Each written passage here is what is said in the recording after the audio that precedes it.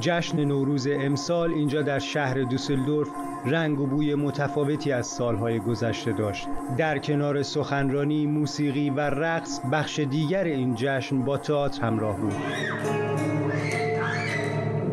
سرگذشت محسا امینی و دیگر کشته شدگان خیزش مردمی را به تصویر کشیدند.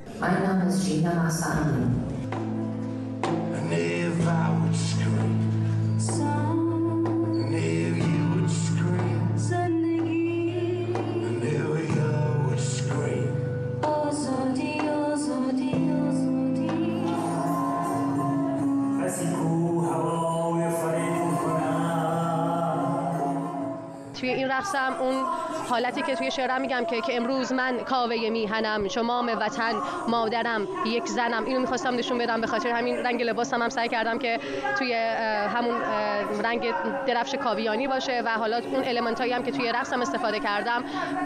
برمیگرده به اون قسمت شعرم که میگه چو پرچم زگی سو برف راشتم جهان را بدین کار وا داشتم من تک تک اتفاقایی که این چند وقت اتفاق افتاده و حالا از قبل خودم تجربهش کردم و توی این رقص و شعر به تصویر کشیدم برای اینکه به همه نشون بدم ایران ما اینه ما ایرانی هستیم و هر جای دنیا که باشیم فرهنگ خودمون و زبان خودمون رو داریم و به واسطه همین فرهنگ و زبان دوباره کشورمون رو پس می‌گیریم. میگیم با هم یک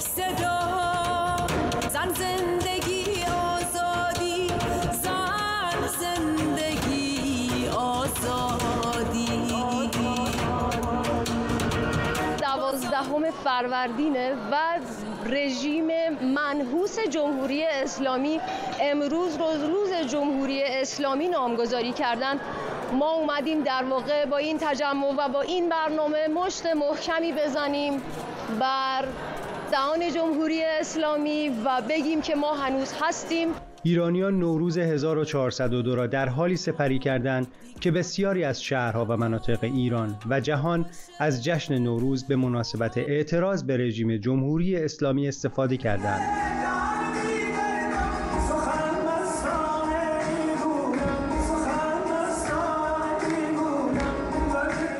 ادریس جویا دوسلدورف